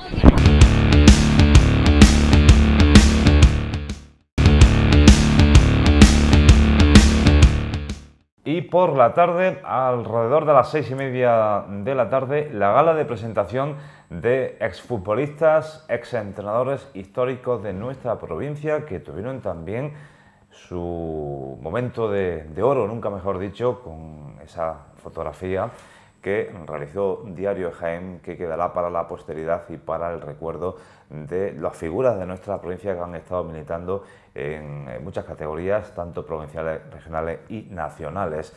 La visita, por ejemplo, de Anquela fue la más sonada, puesto que es el entrenador, junto con Gregorio Manzano, los dos entrenadores jiennenses que más alto hasta el momento dentro de la liga actual, tanto en primera como en segunda división, están siendo eh, mayores eh, reconocidos en, en- toda España y en concreto al tratarse de con provincianos, paisanos, pues seguimos por supuesto sus pasos. El caso, por ejemplo, de Gregorio Manzano en el Sevilla, que no estuvo Gregorio, tenía partido. Sí, yo ya me he puesto varias camisetas ya con Gregorio Manzano, la del Sevilla, la del. Valladolid, La la del Mallorca, es un hombre que va... Pero sí estuvo Anquela. Eh, Juan Antonio Albacete Anquela estuvo con nosotros, entrenador del Alcorcón.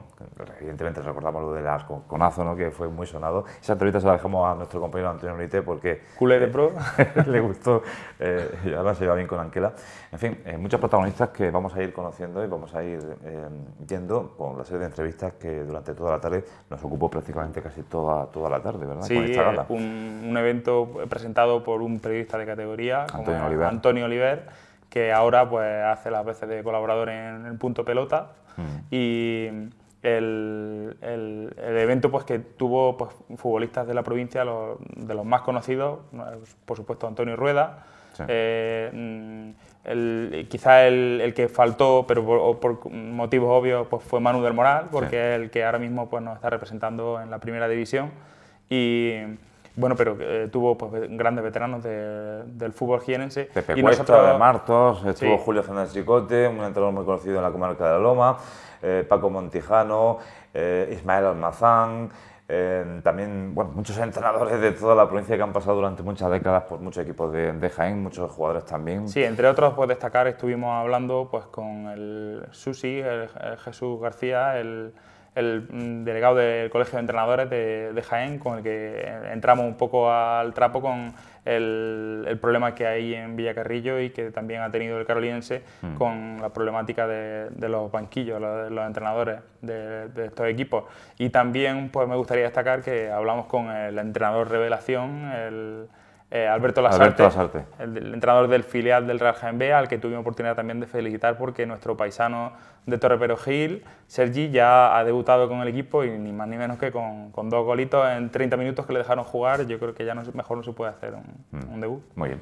Bueno, pues ya saben, durante los próximos minutos vamos a ir viendo cada una de las entrevistas, no tiene ningún desperdicio, hablamos de todo, del fútbol provincial y bueno, conocemos un poco eh, dónde están ubicados cada uno de los jugadores, jugadores, entrenadores que durante muchos años nos han delitado nuestro fútbol provincial. Unos se dedican de lleno al fútbol, otros tienen otras labores, otros se han jubilado, en fin, hay un poco de todo.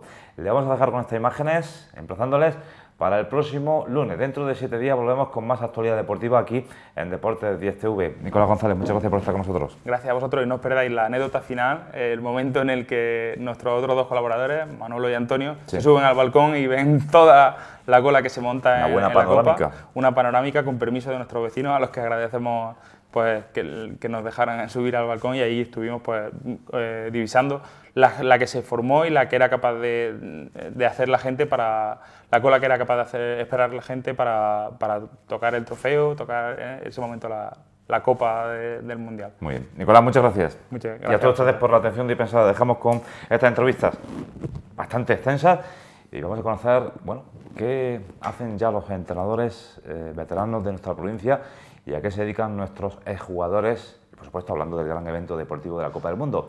Hasta dentro de siete días. Buenas noches.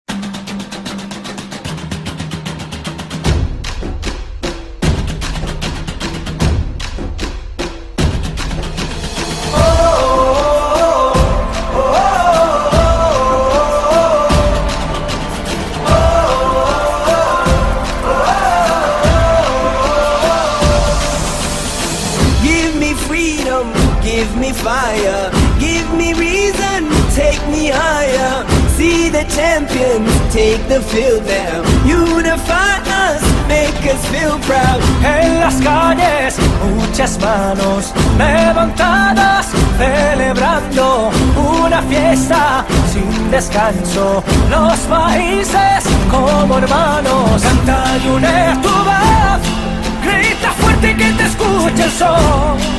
El partido ya va a comenzar, todos juntos vamos a ganar. Unidos seremos grandes, seremos fuertes, somos un pueblo, bandera de libertad. Que viene y que va, que viene y que va, que viene y que va, que viene y que When I get older, I will be stronger. They'll call me freedom, just like a waving flag. So wave your flag, now wave your flag, now wave your flag,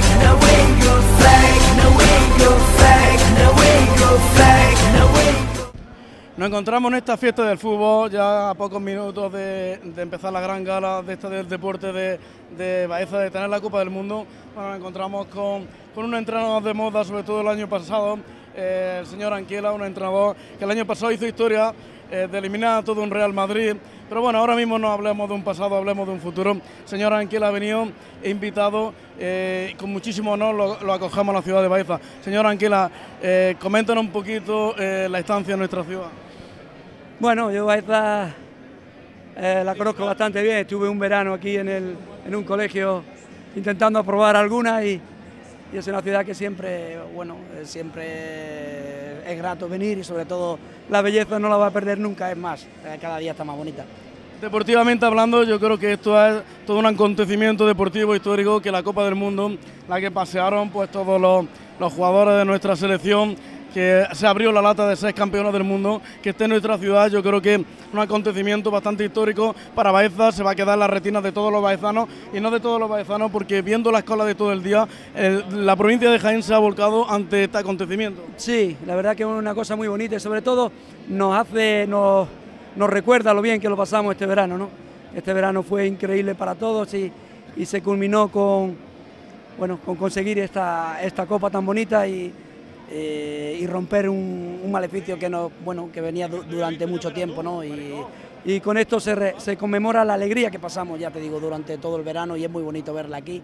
Y como tú bien dices, la gente se ha volcado y, y es una copa de, de todos los españoles.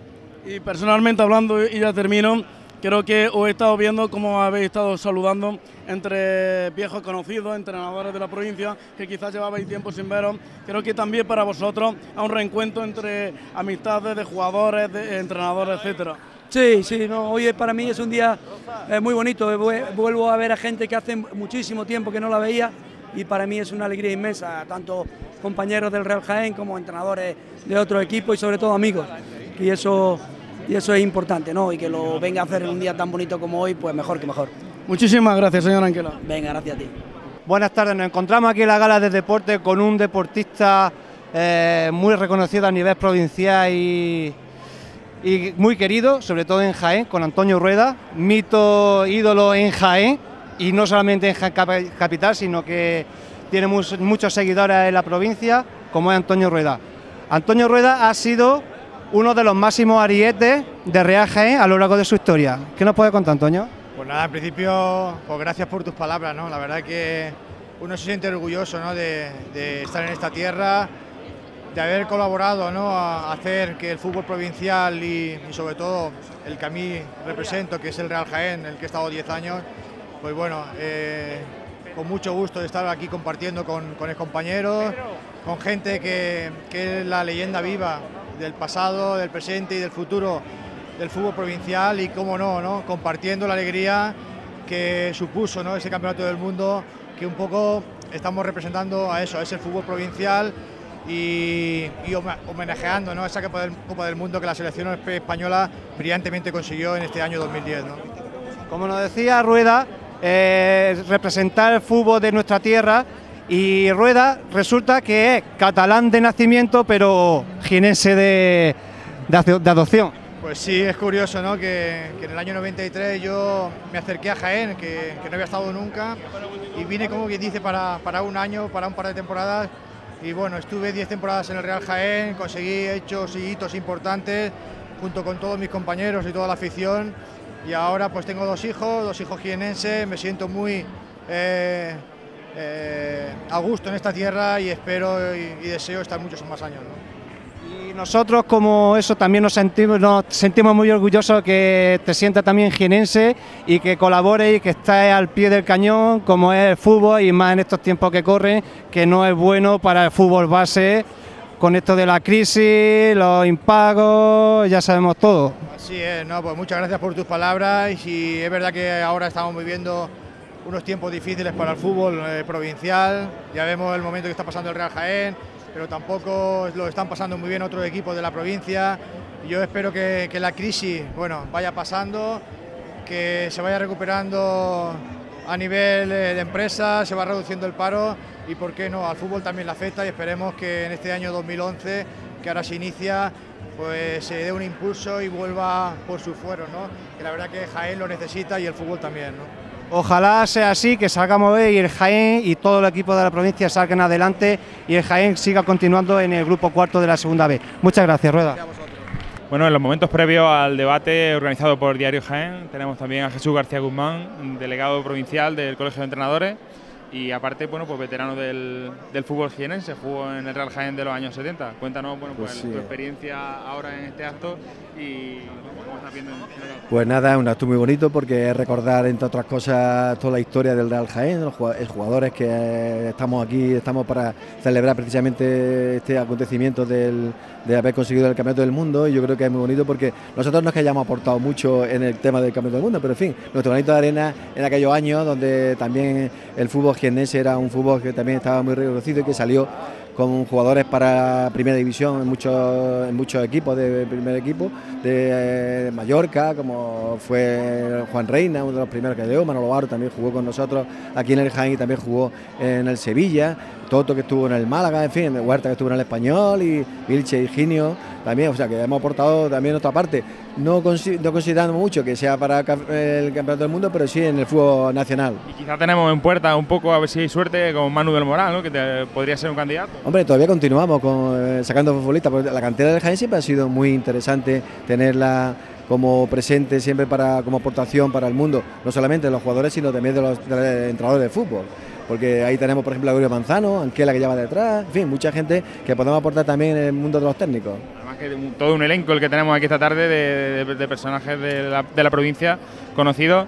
Y bueno, volviéndonos un poco a tu función de entrenadores, en el, de- del colegio de entrenadores, los problemas que estás viendo, que hay pues, mucho movimiento en los banquillos. eh, Bueno, eso es una cosa eh, casi, digamos, normal en todos los años, ¿no? Siempre hay movimiento en los banquillos porque los equipos cuando tienen problemas, pues lo primero que hace es pagarla con el entrenador, que como es uno solo, pues es más fácil cesar a uno que cesar a todo el equipo de jugadores. También fichar a algunos que otros también es la solución algunas veces, porque cambiar de entrenador no tiene muchas veces remedio. El asunto es que tenemos la normalidad de siempre, intentamos solucionarlo desde la federación eh, intentando que se cumplan la- los requisitos que hay de, compromisos con ellos para cobros y tal, y de los entrenadores que cesan y los que vienen, y así pues nosotros vamos todavía haciendo sus trámites oportunos, eh, normales. Por la, la parte que nos toca, lo más cercano que tenemos ahora mismo son los casos de Villacarrillo y por supuesto de la Carolina muy reciente.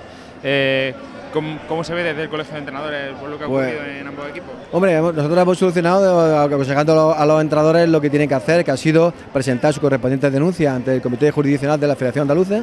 Este se está solucionando, eh, aportan cada uno, son casos continuamente de, eh, de uno a otro no tiene nada que ver, cada uno tiene su problema, cada uno tiene su modal, mo- modo de especial de, de arreglarlo. ¿Puedes Y- contar algo más? Algo más ¿no? bueno, sí, yo creo que Villacarrillo está a punto de que haya ya la- el fallo de del jurisdiccional. Yo espero que le den la razón al entrenador, así como también el tema del carolinense, creo yo que se ha solucionado por la vía normal, es decir, la sustitución, porque ah, parece que va a haber un arreglo también entre el club y el entrenador. Por lo tanto, eso es lo que es nuestra función, que solucionemos esos problemas por- con entendimiento y, con- y civilizadamente y creemos que eh, cumplen el reglamento de la andaluza. Muchísimas gracias por atendernos y a disfrutar de, de esta gala que nos espera. Muchas gracias a vosotros y a vuestra disposición. Bueno, entre los entrenadores muy reconocidos en nuestra provincia, por supuesto, no podía faltar esta cita. Julio Fernández Chicote, un entrenador que lo ha sido todo en el Úbeda en la década de los, seten- del 80-90. Y con un Úbeda, Julio, que, bueno, ya sabes que en la historia reciente hizo desaparecer la Úbeda para dar paso a la Úbeda viva. Fue una lástima, ¿no? Porque llevaste tú el Úbeda pues muy adentro de muchos años, ¿verdad? Y en diferentes etapas con fase de ascenso, recordamos, a segunda B incluso, ¿verdad? Sí, es una pena que pasase eso, pero bueno, sigue funcionando la Úbeda y esperemos que suba a la categoría, sobre todo a tercera división, que nunca debía de haber bajado, y bueno, y pueda acotar metas mucho más grandes, ¿no? Pero Julio, entre tú y yo, ¿cuánto ha cambiado el fútbol de antaño a lo que hay ahora en la actualidad? eh? Sí, ha cambiado mucho porque antes era totalmente distinto, la juventud era totalmente distinta. La, la juventud ahora le gusta el fútbol, pero es totalmente distinto porque fallan mucho a los entrenamientos y bueno, sin entrenar no se puede jugar los domingos como se tiene que jugar. Por lo tanto, yo creo que, que en eso tiene que cambiar mucho, pero también tiene que cambiar la estructura de, de la gente joven, ¿no? que, que sepa que, que bueno, puede ser un porvenir para ellos el día de mañana, pero sí es cierto que hay poca dedicación al fútbol en, principio o empezando por, por la gente joven, ¿no? Tiene que gustarle más el, el fútbol, sí les gusta, pero solo para ir a jugar, como yo digo, sí les gusta el fútbol, jugar los partidos, pero de ir a entrenar, a hacer el sacrificio todos los días les gusta poco. Julio, hoy tenemos aquí la Copa del Mundo, es trofeo más preciado para cualquier futbolista y codiciado para cualquier entrenador, ¿no? Por eso es lo que yo te digo, que, prácticamente eh, el fútbol tiene eso, que hay futbolistas que se creen que llegan todos, pero no llegan todos. Siempre son los escogidos o siempre el que más suerte, el que más suerte tiene y por lo tanto yo creo que el futbolista, los chiquillos de ahora se tienen que mentalizar que tienen que ir más a los entrenamientos y poner más por parte de, de ellos, ¿no? Porque los equipos, pues bueno, ahora tienen todo, ahora tienen, pues bueno, los padres les compran de todo, les compran botas, los clubs y, y todo eso y tienen todo. Y entonces hay buenos campos, gracias a Dios en, en la provincia de Jaén se están haciendo también buenos campos de, de hierba sintética y eso pues también les puede ayudar muchísimo. Por lo tanto, yo confío que de aquí para adelante pues que les guste un poquito más el fútbol, que vayan a entrenar y que puedan salir futbolistas. Ya digo que no salen todos, pero el sacrificio hay que hacerle para, para el día de mañana si puede subir arriba. Dentro de poquito ponencia, ¿qué es lo que va a hablar Julio de fútbol provincial? Todo un sabio y posiblemente de los más veteranos de los entrenadores que asisten hoy. Pues sí, es fácil que sea el- a lo mejor el más veterano, pero sí es cierto que estas reuniones había que hacerlas un un poquito más, ¿no? Porque porque prácticamente eso nos decimos los entrenadores que estamos aquí, nos decimos que hace que no nos vemos mucho tiempo. Más unión, ¿no? y esta, esta unión pues también eh, se agradece que sea y que se haga de vez en cuando, ¿no? Julio, muchas gracias. Nada, tío, Gracias. hombre. Venga. Bueno, pues está con nosotros Alberto Lasarte, técnico de moda del fútbol jienense, que es el entrenador del filial del Real Jaén, al que tenemos que darle la enhorabuena porque a esta hora eh, ocupa la, la fase, eh, está en puesto de ascenso, tercer clasificado después de su goleada ayer por, por un gol a cinco. Cuéntanos un poco. Contento, contento por recuperar un poco las sensaciones que teníamos antes, contento por haber hecho un gran partido y contento porque a partir de ahora podemos contar con nuevos jugadores, que eso siempre eh, nos va a dar mucho por suplir los que están con el primer equipo. Entonces, ilusionado para que estos últimos 10 partidos nos dejen lo más arriba posible y si puede ser intentar jugar la Liga de Ascenso. Además, dándole bienvenida ya por fin como técnico oficial a Manuel Herrero, ¿no? que se firmó el viernes. Sí, efectivamente, el tener estabilidad en el club siempre es bueno, que todo sea no oficioso sino oficial y el hecho del entrado es, es un logro y, y el hecho de poder firmar en el B y poder tener un poco de continuidad también. Por nuestra parte, bueno, pues eh, lo más cercano que tenemos es un jugador de Terrapero Gil, eh, del que nos sentimos muy orgullosos de que ocupe, eh, ya forme parte de, de la plantilla del Roja en B, además que ha entrado con muy buen pie, muy buen pie ¿no? El- el- salió de, en el descanso. Sí, Sergi, Sergi, jugador de Torre Perojí, como, como bien decís, que, que bueno, que después de un mes entrando con nosotros, debutó por primera vez en el día de ayer y bueno, hizo dos goles en media hora. Estamos muy ilusionados con ese jugador y creemos que aquí en esta zona hay buenos jugadores. De hecho, también tenemos a Juan Diego de Sabiote y, y nos, gusta, nos gusta mucho apostar por la provincia y por la gente joven porque creo que, que merece la pena y que la provincia de Jaén tiene muchísimos buenos jugadores. Pues muchísimas gracias, mucha suerte y ojalá que cuando termine la liga esté ahí en los puestos que ocupa ahora mismo y que eh, por la parte de Jaén pues nos llevemos una satisfacción todos. Pues muchas gracias a vosotros. A disfrutar de la gala. Muy bien. Paco Montijano, otro de los entrenadores afamados, muy reconocido en nuestra provincia, por supuesto no podía faltar a la cita de esta jornada en, Baeza. Un entrenador eh, muy afamado y conocido especialmente dentro de Don Jimeno en su etapa, estamos hablando de etapa hace ya bastante años porque desde entonces eh, creemos que no ha vuelto a entrenar a, a ningún equipo, pero sigue por supuesto en contacto con los compañeros, compañeros de muchos años en el fútbol jienense y no ha querido por supuesto perderse esta, esta cita. Paco Montijano, bueno, ¿cuántos años sin entrenar, no? Aproximadamente, ¿no? Unos Sí, tres, siete- no, no, tres, tres, cuatro tres. años. La última etapa del Torredón Gemeno hace tres años que tuvimos en tercera división y a partir de ahí pues no ha habido nada que valga la pena para volver a intentarlo. El contacto diario, eh, las relaciones por supuesto, vivirlo, pero esperar a ver si hay algo que valga la pena. no es un momento muy dulce ¿no? para entrar a un equipo. Tenemos el caso, por ejemplo, de Sánchez Mezcua, que está cerca, y de otros tantos entrenadores que se han quedado bueno, eh, a mitad de temporada sin equipo. ¿no? Sí, es que las circunstancias mandan, hay que vivir el presente y el presente pues con temas de crisis y la situación que hay, proyectos así muy importantes no los hay en nuestra provincia, desgraciadamente, pero esperemos que cambie, que gire, porque el fútbol es un acontecimiento que para llegar arriba hay que empezar por abajo y si los inicios, si las categorías inferiores no funcionan, pues difícilmente y la progresión y llegar a, a tantos aficionados como hay en primera división es muy difícil. Yo creo que, que hay que intentar alimentar lo máximo posible la- las categorías inferiores, que haya fútbol para poder llegar al éxito. ¿Cómo huele a fútbol en este auditorio? eh? Sí, sí, esto es bonito, muchos muchos jugadores, muchos entrenadores y un ambiente para que veamos lo que acarrea el fútbol. Gracias, Paco. A vosotros. Venga. Bueno, pues nos hemos encontrado por aquí con Santa María, de- que es integrante de la Escuela Municipal de Jodas, y de hecho pues, se van esta tarde a jugar un, un partido importante pa- para, consolidarse como favorito a, a ascender a la regional preferente. Cuéntanos un poco tu experiencia como viendo la Copa y que has venido incluso con acompañado con el niño. Pues aquí la Escuela Municipal de Deportes eh, nos pilla al lado y, y hemos venido a ver esto en la escuela, a ver la, la Copa del Mundo. Han venido, eh, o sea que como, como escuela municipal habéis venido Sí, sí, incluso... toda la Escuela Municipal ha venido a, a visitar la, la Copa. He visto a varios con el chándal, además un chándal muy propio porque es que quizás hace un poco alusión casi a por la alegría que tenemos todos ahora mismo con la selección española. ¿no? Sí, sí, viendo la alegría de la selección española y viendo que podemos colocarnos los colores de la selección, pues hemos dicho que este año hemos optado por, por coger los, colores de la selección, que son los nuestros propios, que son del color rojo, de, de Jodes, pero hemos incrustado las franjas amarillas para que sea de la selección española más, Eh, ahora en la, la campaña de invierno habéis firmado a un jugador conocido, Piñuela, de Huesa. ¿Está aportando cosas al equipo? Cuéntanos un poco, no sé, ¿el equipo está más fuerte? ¿Hay- ¿Soy candidato al ascenso? ¿Cómo? Sí, el equipo tiene ya de por sí una base muy, muy interesante porque somos todos un colectivo del mismo pueblo, nos vamos conociendo ya de- desde muchos años atrás, vamos trabajando bien. Piñuela es un jugador que ya lo conocemos, lo hemos tenido en las categorías inferiores nuestras, desde los 16 años, y es un jugador que ha querido aportarse a nosotros como un complemento más, para reforzarnos más si cabe aún más, y tratar de tener un partido que es clave para nosotros, es un partido que en casa no podemos fallar y, y tenemos que puntuar los tres puntos esta tarde. Ojalá que así sea y eh, mucha suerte sobre todo y ojalá el año, el año que viene podamos veros pues donde Jodas, la ciudad de Jodas se merece, que desde luego eh, es mucho más arriba que en primera regional. Y muchas gracias a vosotros por, por apoyarnos, por seguirnos y, y que ojalá sea así que, y que la escuela municipal de Joda pues siga, siga donde debe estar, en la preferente y, y a ver si podemos estar para el año que entra. Suerte para esta tarde. Muchas gracias a vosotros. Nos encontramos en esta tarde apacible después de esta mañana de lluvia y de aguanieve que nos hemos encontrado aquí en- a las puertas del auditorio de la Ruina de San Francisco y nos encontramos ante la panorámica de la multitud de gente que se aglomera alrededor para hacerse la fotografía con la Copa del Mundo que levantó Casilla, Antonio.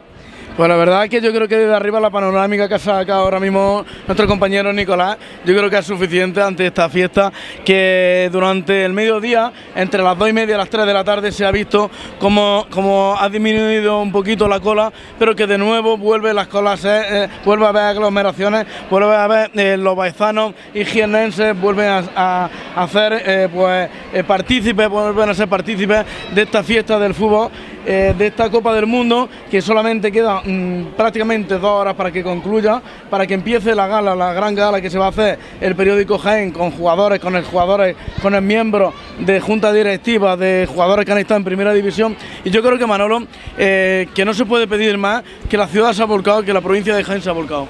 No, la verdad que sin duda la gente de- ha venido de todos los rincones de la provincia y, y vamos, y esta mañana había tanta cola como ahora, pero encima es que ha sido lloviendo, aguanieve, un frío que, que se calaba los huesos, vamos, algo increíble. Y la gente no paraba de venir y hacer unas colas como nos estamos encontrando ahora, pero esta tarde con solo, claro, sin duda. La verdad que Manolo, que, que lo de esta mañana yo creo que ha sido la gente muy valiente, aguantar una temperatura, no vamos a decir bajo cero, pero sí muy, muy poco apacible, o sea, una temperatura, eh, sobre todo con lluvia, la gente llevaba algunos desde las 9 de la mañana aguantando aquí hasta las 11 y media, las 12 de la mañana que ha empezado eh, el desfile de la gente de la Copa del Mundo, Manolo, y yo creo que más no se puede pedir, que más queramos pedir, que la tarde está siendo mucho más, eh, mucho mejor, no está lloviendo, a intervalos nubosos no está lloviendo, pero yo creo que, que se va a quedar corta la hora y que eh, como no, y como las, las colas no empiecen a avanzar un poquito más rápido, creo que al final llegará a quedarse gente en la calle. Bueno, sí, bueno, creo que la gente de la calle no, la, la organización no va a dar lugar a ello, ya que lo mismo prolonga media hora, tres cuartos de hora más, porque no van a dar, ya que está aquí en Baeza, es, después de Jaén, el único sitio que el único sitio que está aquí en la provincia de Jaén, ¿eh? No creo que deje a la gente sin hacerse su fotografía de rigor. Yo creo que no. Y bueno, eh, vamos a, de- a dejar de molestar a, nuestros- a unos vecinos que con nuestra cara dura hemos cogido, le hemos quitado su intimidad y volvemos a la parte de abajo. Bueno, Lorite, muchas gracias.